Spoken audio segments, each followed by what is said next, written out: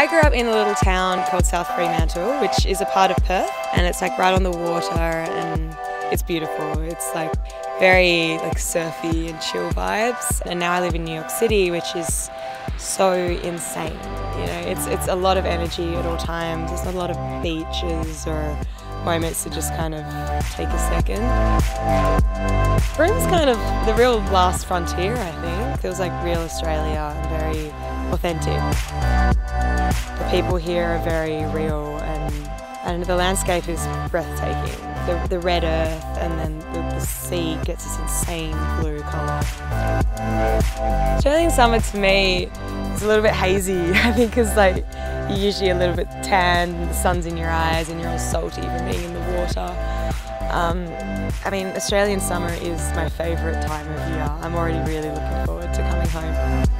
Is such an iconic Australian brand. Growing up in Australia, I remember seeing like Miranda's campaign and all, all these amazing models, and it's kind of, I guess it's kind of the pinnacle for a lot of, you know, a lot of Australian models. It's the brand to work with. I, I was so, so happy and so humbled, I guess, to be included in part of the family, and this trip's been unforgettable.